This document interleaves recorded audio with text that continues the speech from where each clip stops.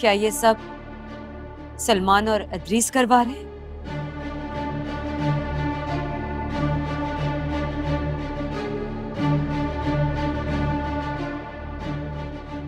जी हाँ।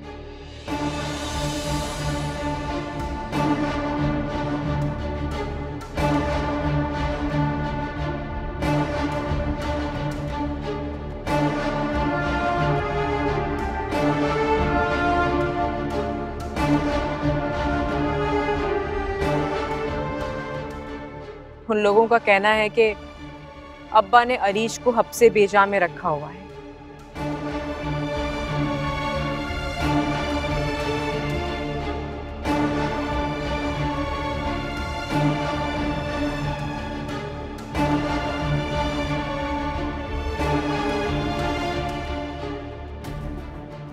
क्यों कर रहे हैं वो लोग ऐसा?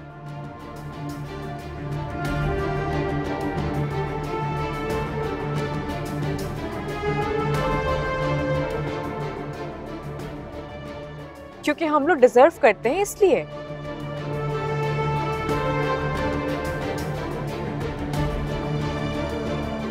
ये क्या कह रही हो तुम?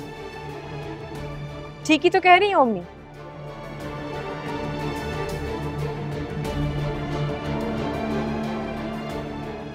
अगर किसी इंसान के अंदर का जानवर बाहर आ जाए तो हम जैसे सहमे हुए लोग उसका मुकाबला नहीं कर सकते।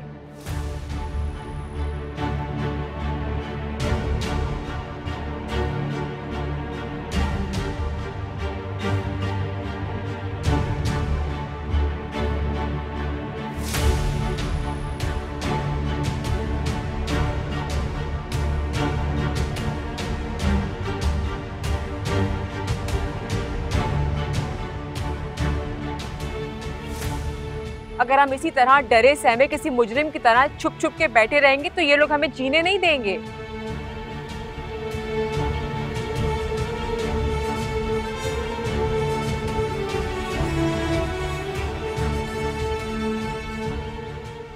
बेटा हम शरीफ लोग हैं। शराफत ही हमारा असासा है। यही तो मसला है अब्बा। हम जैसे शरीफ और इज्जतदार लोगों का।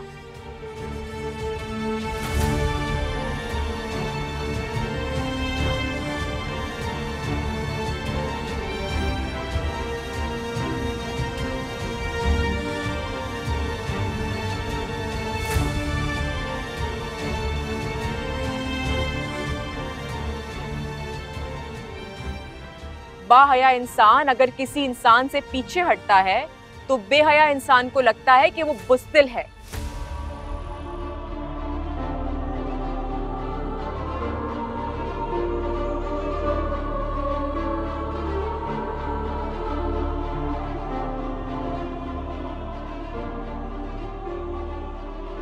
और आपको पता है, अपने हक के लिए आवाज़ ना उठाना भी बहुत बड़ी नाशुक्री है अल्लाह ताला की।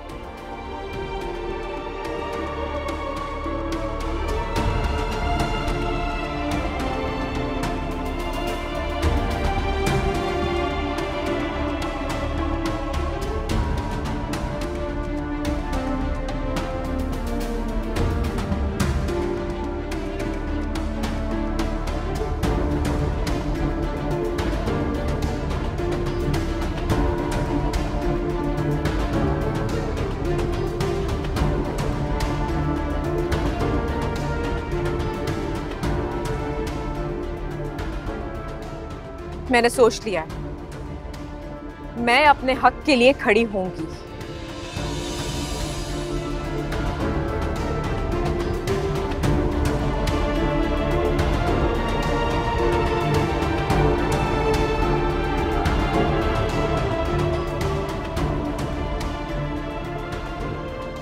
पर अब मैं आप लोगों में से किसी की भी नहीं सुनूँगी।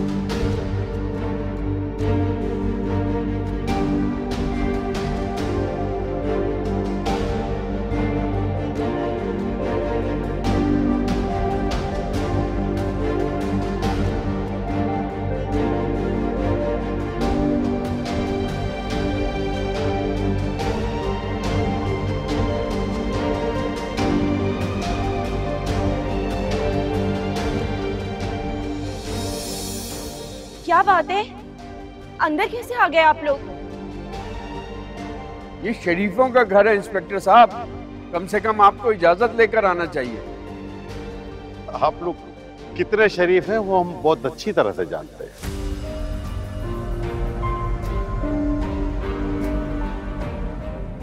चलिए हमारे साथ थाने चले।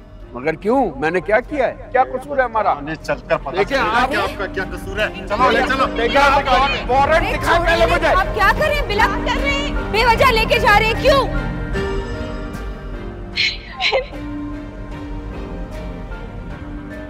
नसीमा बहन आप आप जाके पहले अरूज को फ़ोन कीजिए। लेकिन आप अरूज को फ़ोन कीजिए ना मैं देखती हूँ आप जाइए।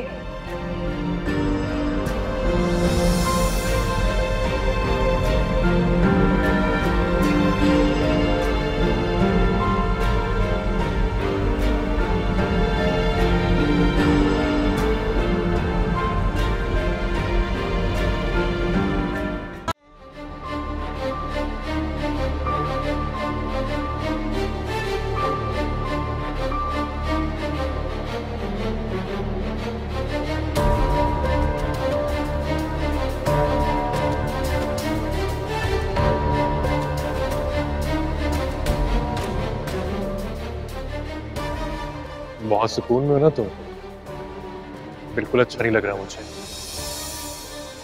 जो थप्पड़ तुमने मेरे मुँह पर मारा था ना उसके निशाना तुम अपने वजूद पर तलाश करोगे।